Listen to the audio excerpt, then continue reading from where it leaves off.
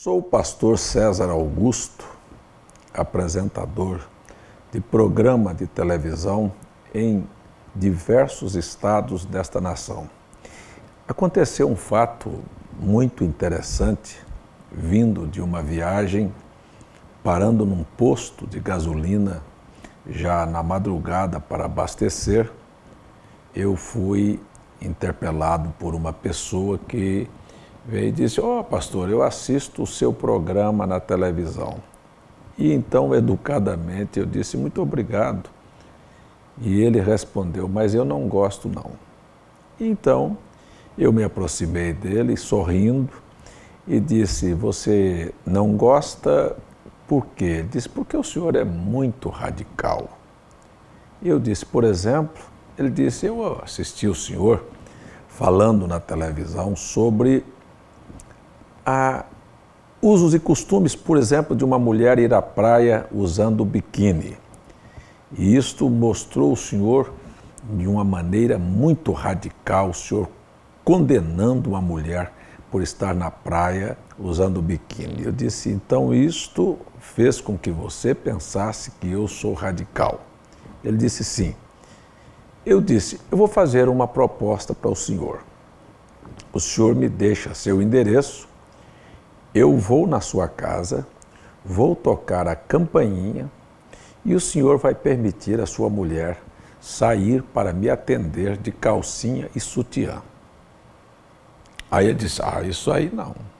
Disse: Bom, se a sua mulher pode estar de calcinha e sutiã na praia, por que, que ela não pode me atender em casa? Na praia, ela vai expor o corpo para centenas de homens olhar as pernas, o desenho do corpo, o sexo, enfim. E o senhor sabe, sabe qual foi a reação daquele homem?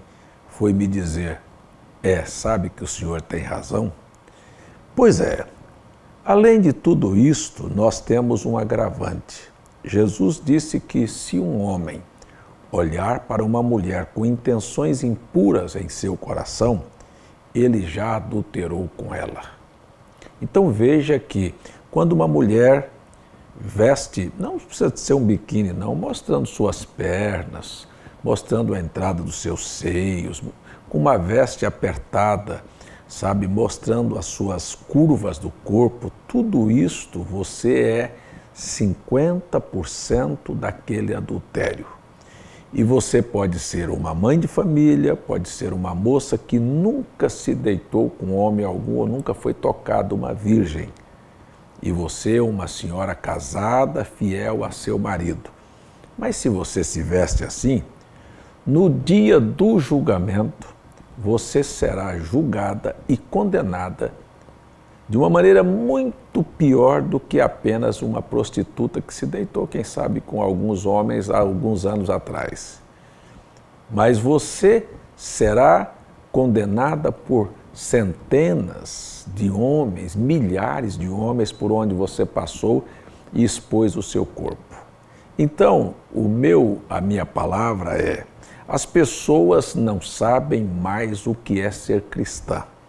Os pastores ao invés de levar as pessoas ao conhecimento da Bíblia e aos ensinamentos de Cristo, eles preferiram fazer propagandas de bens materiais e levar as pessoas a uma crença e um evangelho materialista do que ensinar as pessoas a viver o cristianismo. Ser cristão é ser imitador de Cristo.